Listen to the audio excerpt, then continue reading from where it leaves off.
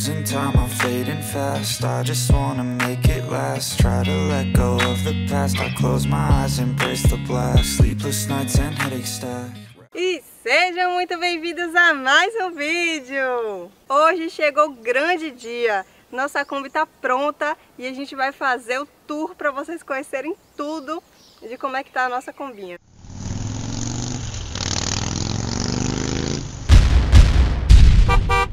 Eu sou Eduardo. Eu sou Karina. E no ano passado nós decidimos mudar de vida radicalmente, sair daquela rotina de casa-trabalho e compramos essa Kombi 2008 quando ela tinha 124 mil quilômetros rodados. Quatro meses depois estamos aqui, transformamos essa Kombi na nossa casa e é ela que você vai conhecer agora. Ah, vale lembrar que tudo que você vai ver aqui foi a gente que fez. Exatamente. E se você ficar curioso para saber como foi que a gente construiu essa Kombi Home, tem uma playlist lá no canal escrito construção e você pode acompanhar tudo desde o início até agora. Passo a passo, tudo, mostramos tudo. E sejam bem-vindos à nossa casa.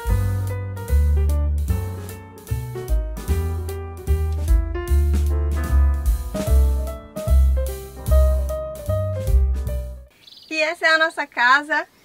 Aqui você está vendo a nossa cozinha.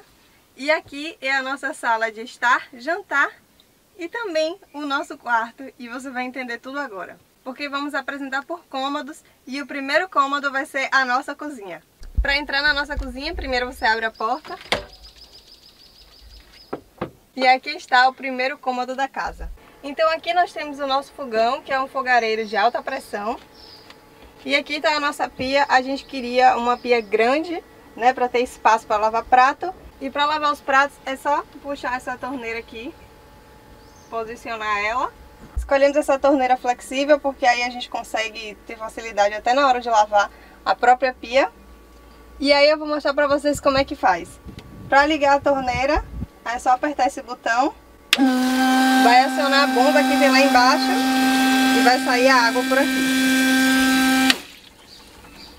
Essa água, ela vai descer pelo ralo e vai vir aqui nessa parte de baixo, que fica a nossa bomba de descarte. Então aqui é como se fosse o nosso esgoto, a água suja vem pra cá. Depois é só a gente abrir e descartar a água suja fora. Ali no cantinho temos o nosso botijão P5, que também tá todo preso ali com fita catracada, né? Porque na Kombi tem que estar tá tudo preso. Aqui nossa bombona de água também tá toda presa com velcro, para não correr enquanto a gente estiver na estrada. E aqui é um sensor para a gente ver o nível da caixa d'água lá de baixo que a gente vai mostrar quando for apresentar a parte externa. Então aqui você está vendo que a água já está acabando, está precisando encher, né? Tem um quarto só de água na caixa e cada vez que a gente vai enchendo ela vai subindo até aqui em cima e acender a luz azulzinha. Como vocês viram quando eu liguei a torneira, eu apertei aquele botão e o que vai fazer a água subir é aquela bombinha ali, é uma bomba de para-brisa. Então ela puxa a água lá da caixa d'água e sobe aqui para a torneira para a gente poder utilizar. E aqui embaixo também fica o nosso banheirinho, o nosso porta-pote. Vou puxar aqui para vocês verem. E esse porta-pote é o nosso vaso sanitário portátil. É como se fosse aqueles vasos sanitários de ônibus. E aqui a gente tem a descarga. Tá vendo? Aí para que a água desça, é só puxar aqui para os dejetos caírem lá dentro. Fechou. E aqui nesse compartimento de baixo é onde fica tudo que a gente faz, né? E aí a gente coloca um produto aqui dentro que vai evitar que fique cheiro e também vai desintegrar é, tudo que a gente fizer aqui de número 2, né? E esse porta-pote também ele vai servir de banco aqui pra gente, vocês vão ver rapidinho quando a gente for mostrar como é que a gente vai fazer para comer na Kombi. Então ele tem duas utilidades, além de vaso sanitário, ele é um banquinho também. Até para quando eu estiver aqui lavando os pratos, ó. Sentei, posso lavar os pratos aqui tranquilamente, posso, posso utilizar para cozinhar. E aqui eu já consigo abrir a nossa geladeira. Então aqui a gente colocou essa proteção, tá vendo? Deu pra ver? Essa proteção de trava infantil, né? Que o pessoal coloca para criança não abrir armário. Então temos um frigobar de 80 litros. Já tá gelando aqui, ó. Já tem uma cervejinha ali, uma aguinha. a gente ainda não equipou. Mas ele era um frigobar de 220 volts e a gente trocou o motor dele e transformou para um frigobar de 12 volts, porque aqui na casa tudo é 12 volts. Agora que vocês já conheceram a cozinha, vou apresentar para vocês a nossa sala. Então, vou começar aqui pelos armários. Temos três armários aéreos, que eles abrem aqui, onde possivelmente a gente vai guardar alimentos ou outra coisa. Uma coisa interessante é que a gente botou um interruptor aqui, que a gente simplesmente ilumina ele. Ele tem luz, para quando tiver de noite a gente conseguir ver direitinho o que a gente quer. Vou fechar eles aqui. Eles vão fechando aí devagarzinho. Muito bem. E então vou partir agora para os armários aqui de baixo, mostrar o que, que tem. Aqui, esse armário aqui, lá embaixo fica o botijão, né? A gente só colocou uma madeirinha para poder usar em cima, de alguma forma. Ele levanta. Esse aqui nós temos uma gaveta, tá com o resto de material de construção aí. E essas duas portas de armário, bem grande, que dá para guardar bastante coisa.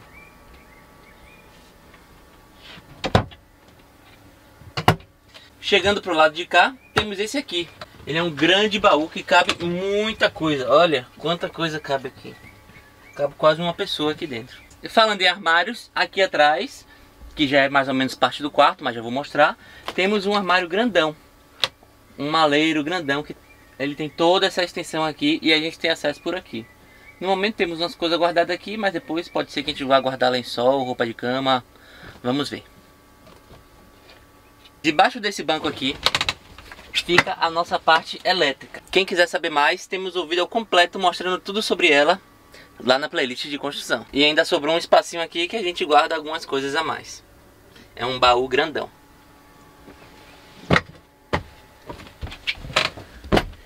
E para finalizar a nossa sala aqui, nós temos essa televisão de 23 polegadas, que ela pode servir para a gente assistir aqui tanto na sala como virada lá para a cama. Vocês devem estar se perguntando onde é que a gente vai comer, né?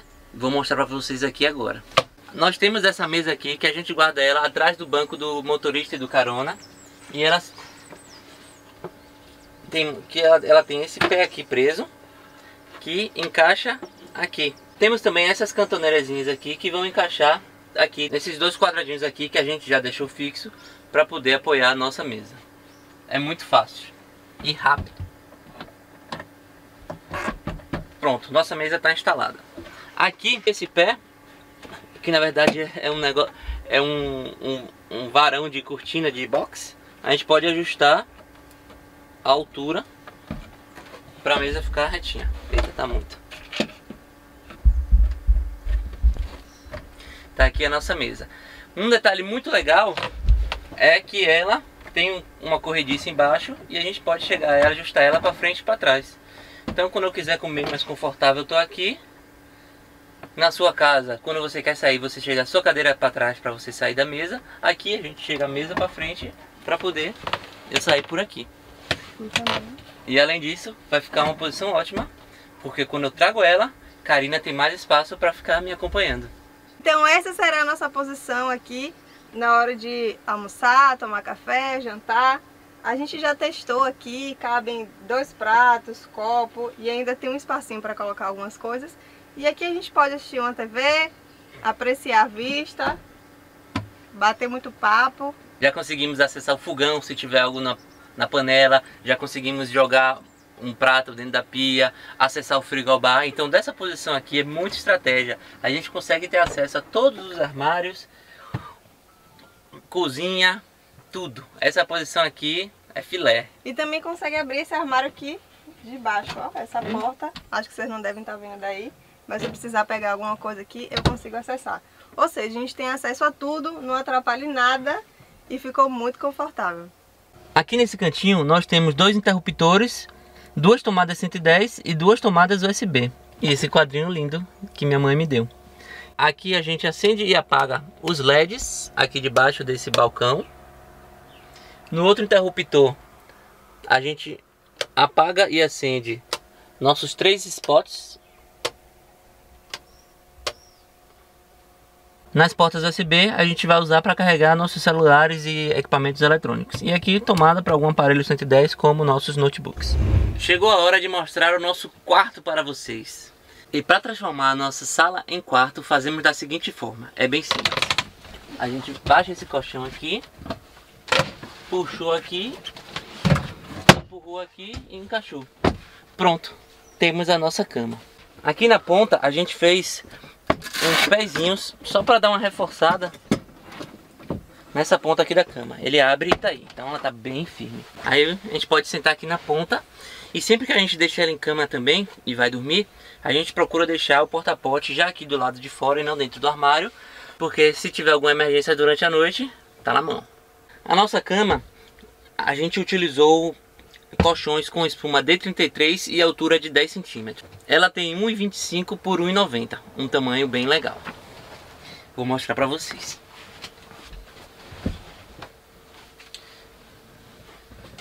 Aqui dá para vocês terem uma noção que eu caibo tranquilamente na cama, inclusive no comprimento. E o meu amor aqui do meu lado. e aqui nessa parte do quarto, nós temos o nosso guarda-roupas. É um guarda-roupa bem minimalista, especialmente para uma mulher. Mas esse é o nosso novo estilo de vida. E aqui vai caber todas as nossas roupas, algumas maquiagens, acessórios e o que a gente conseguir colocar aqui ainda, porque a gente ainda não arrumou tudo e só na hora que a gente vai saber mesmo. E aqui no nosso quartinho também temos essa parte de trás que eu já coloquei o aromatizador que eu amo. Eu sempre ligo ele à noite. E temos essa tomadinha USB, que inclusive tá com esse pontinho de essa luz de leitura aqui. Uma luz bem fraquinha, mais para leitura mesmo. E também tem essa entrada aqui, cigarrete, que a gente usa para ligar especialmente o nosso aspirador de pó automotivo e o nosso chuveiro. Também ligamos aqui, que você vai ver já já. Fora isso, aqui também é um apoio, né, para colocar o celular, carregar o celular e fazer uma coisa que a gente adora também, que é dormir. Outra coisa também que eu quase ia esquecendo é que nós planejamos para colocar essa TV de forma que a gente consiga assistir deitadinho antes de dormir. Então aqui é só puxar a TV, posicionou ela e partiu Netflix. Já que chegamos até aqui o final do nosso quarto, vou mostrar para vocês a extensão dele, que é onde a gente vai tomar banho. Para tomar banho, vamos ter esse chuveiro 12 volts e eu vou mostrar para vocês como ele funciona. A gente liga ele nessa tomadinha aqui, que a gente já deixou aqui própria para isso. Vamos ter que encher um balde com água para tomar banho. Inclusive a gente pode esquentar no fogão caso a gente queira tomar banho mais quente em dias frios ou não sei. E aqui depois de conectado a gente pega essa bomba e mergulha no balde com água. E essa parte onde vai sair a água, a gente pode, ela tem até um, uma ventosa a gente pode botar em qualquer lugar da Kombi. E aqui na ponta temos o comando para ligar o chuveiro. O chuveiro, aqui a gente pode regular a intensidade dele. Ou simplesmente a gente pode usar na mão mesmo. Caso a gente queira apenas tomar uma ducha, a gente pode tomar aqui fora. Mas se necessitarmos privacidade, vou mostrar para vocês como vamos fazer a gente tem essa barraca de banho, que ela funciona da seguinte forma. Ela simplesmente abre. Abre. Ela simplesmente abre. E aqui dentro... Vira o nosso box. Vai ser o nosso box. E onde a gente pode conectar o chuveiro por cima. Porque ali, como vocês podem ver,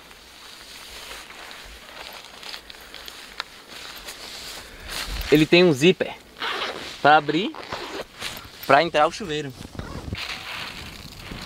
Depois que acabar com o balde, é só ele é retrátil e fica facinho de guardar. Outra parte importante para nossa casinha, já que nossa casa é um pouquinho pequenininha, a gente resolveu ter uma varanda. Para isso a gente instalou aqui o nosso todo, que também foi a gente que criou, a gente que confeccionou, e você vai ver agora como é que a gente faz para usar ele.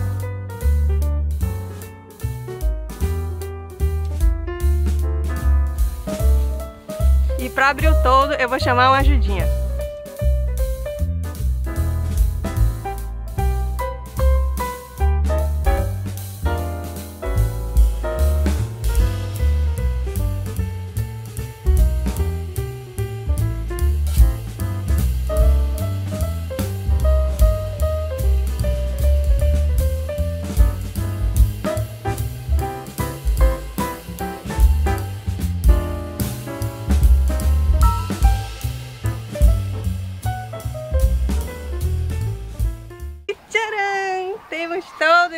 Varanda!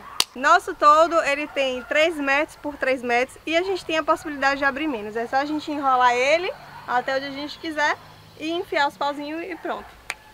Agora a gente vai mostrar pra vocês uma coisa sobre a mesa que a gente ainda não tinha falado. Vem cá.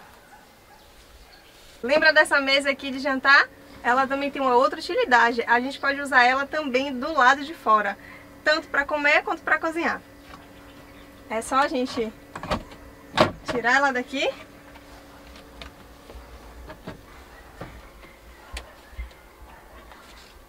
E encaixar aqui nesses dois pedacinhos de madeira.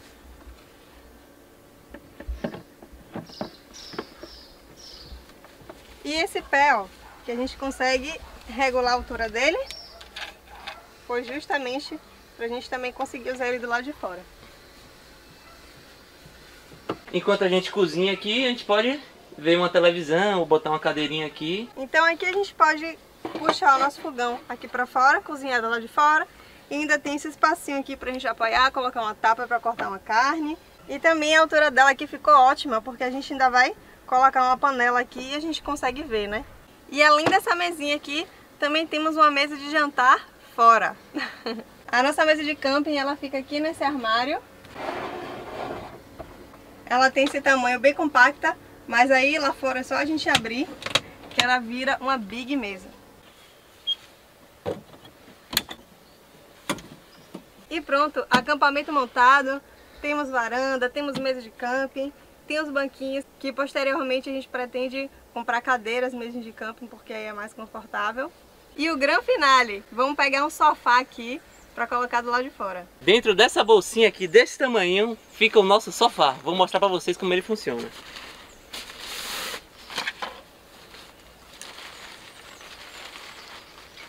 É só abrir ele aqui enrolar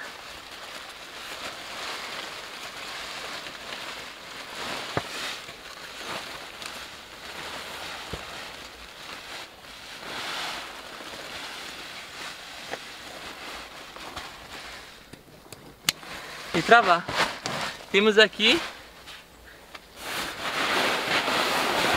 e temos aqui o nosso sofá. Nada mal, hein?